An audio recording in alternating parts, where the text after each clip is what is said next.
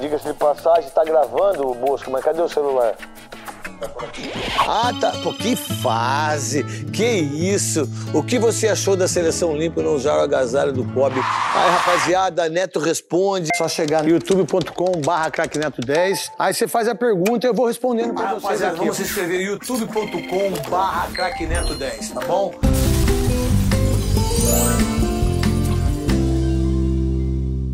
Neymar é melhor que Ronaldinho Gaúcho ou o Ronaldinho Fenômeno? Imagina, você tá louco?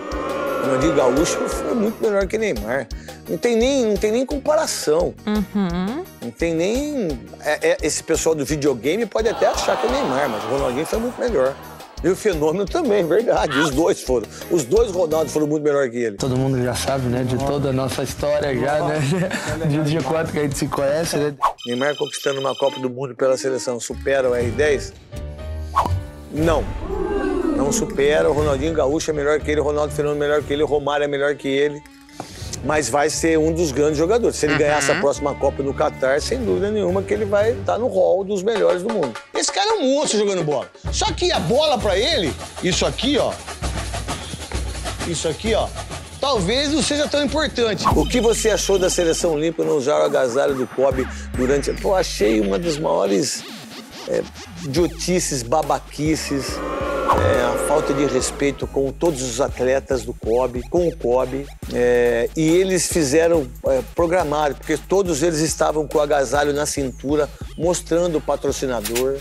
Né? Que o patrocinador não tem nada a ver com isso.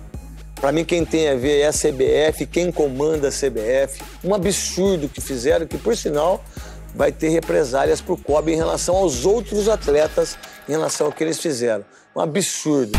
Os babaca. Vocês estão de sacanagem! A próxima, se pudesse conversar com o Luan, qual o conselho que você daria? Pô, sei, cara. Pô, já faz um ano e meio que ele tá ali, ele ficou dois anos sem jogar no Grêmio, faz três anos e meio que ele não joga futebol. Conselho que eu daria pro bem, pô, tenta se reinventar, tenta achar uma posição diferente, sabe? Tenta jogar futebol, tenta voltar a ser 50% do que você foi. Ou sai do Corinthians e vai buscar um espaço em outro time. Aí, Luan! Vai tomar o chá pra matar a lombriga! Qual seleção hoje está mais preparada? A França. A França é a melhor seleção, mas você tem a Itália, você tem a Bélgica, você tem a Inglaterra, com jogadores jovens. Eu acho que a nossa que não tá. Agora você, Tite, a cada dia que passa, eu me sinto mais envergonhado de ver uma seleção brasileira sem identidade de absolutamente nada. Como jogador, qual foi a decisão mais fácil e a mais difícil que você tomou? Ah, a decisão mais fácil foi parar de jogar futebol.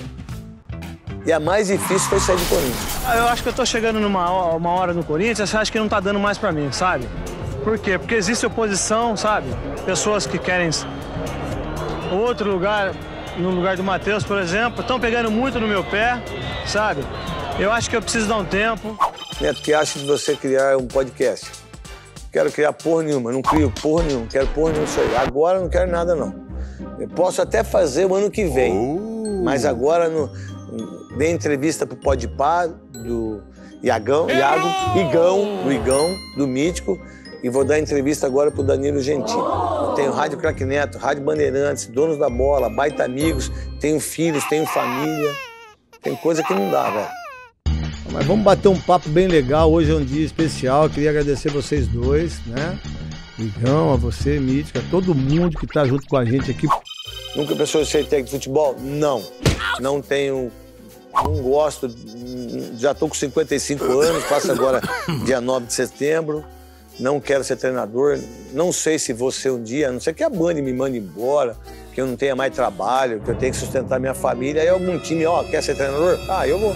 Aí sim, sabe quem que vai aguentar? Eu! O Corinthians devia buscar um, um técnico gringo. Pô, eu- se o Corinthians pudesse buscar o Galhardo, cara, pô, seria sensacional.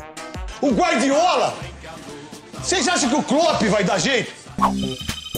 O que tu acha é que falta pro futebol brasileiro voltar a ter os craques? Primeiro, eu acho que não vai ter mais os, os, craques, os craques dos anos 70, 80 e 90.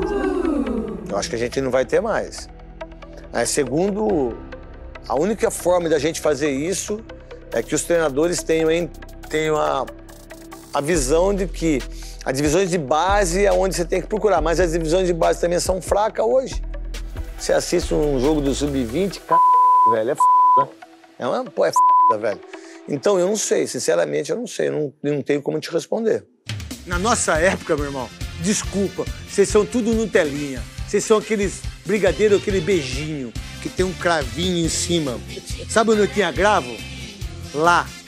Qual foi a pior coisa que você viu em concentrações como jogador? Ah, tá. Qua- Não, quando eu jogava no Guarani, quando era divisão de base, eu vi pessoas eh, se drogando na veia, vai, tomando, metendo cocaína, que eles metiam cocaína, eu não sabia, né? Bot- botar- e se injetando. Isso foi uma coisa que até hoje é, é marcante na minha vida. Eu vi isso, assim, vi meus amigos fazerem isso. Você vai perguntar se eu fiz? Não, cara. Minha veia é limpinha. E respeito essas pessoas, sabe? Porque é uma doença. As pessoas se viciam, depois não conseguem sair disso. Então, por isso que você tem que ter Júlio Lancelotti, você tem que ter o Dunga, eh, os pastores, os apóstolos, essas pessoas da igreja que ajudam o ser humano. Que a gente não pode ter uma Janaína falar que isso é uma coisa que vai. Não, não vai, não. A gente precisa de ajudar essas pessoas, porque eles são doentes. O governo tem obrigação, o Estado tem obrigação, mas a gente não cobra. Aí vem a Janaína lá, fala que não pode, diz que o Júlio, nosso padre Júlio Lancelotti, não pode dar comida para as pessoas que são, que, que, que são viciadas. Quem disse que o viciado é pior do que quem não é?